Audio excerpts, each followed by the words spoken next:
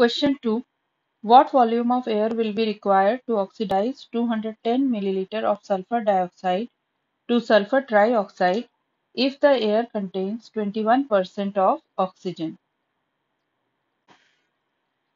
The balanced equation for the oxidation of sulfur dioxide to sulfur trioxide is SO2 plus half O2 forming SO3. Now according to the question, moles of sulfur dioxide available is moles of sulfur dioxide is equal to volume of sulfur dioxide that is 210 milliliters divided by molar volume that is 22.4 into 10 to the power 3 milliliters.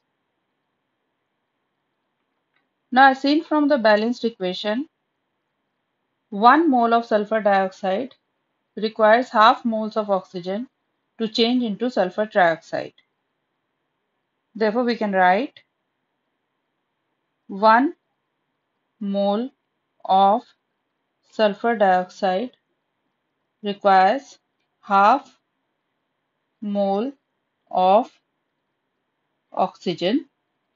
Therefore, 210 by 22.4 into 10 to the power 3 moles of sulfur dioxide will require half into 210 divided by 22.4 into 10 to the power 3 moles of oxygen.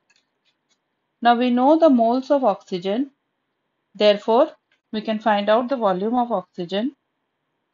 So, volume of oxygen is equal to moles of oxygen that is half into 210 divided by 22.4 into 10 to the power 3 multiplied by molar volume that is 22.4 into 10 to the power 3 milliliters.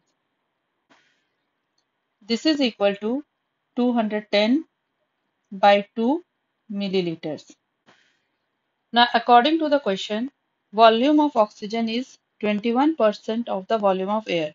So, we can write volume of oxygen that is 210 by 2 milliliters is equal to 21% that is 21 by 100 into volume of air. Therefore, volume of air is equal to 210 by 2 into 100 by 21 and this is equal to 500 milliliters.